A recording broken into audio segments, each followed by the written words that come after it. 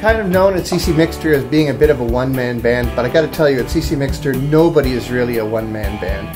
Uh, I uploaded a piece recently that um, you know I did all these instruments on it, but you know the thought that uh, that occurred to me that sort of triggered the song uh, came from another artist, uh, the one that you know I did the remix for. So you know, nobody is an island at ccMixter.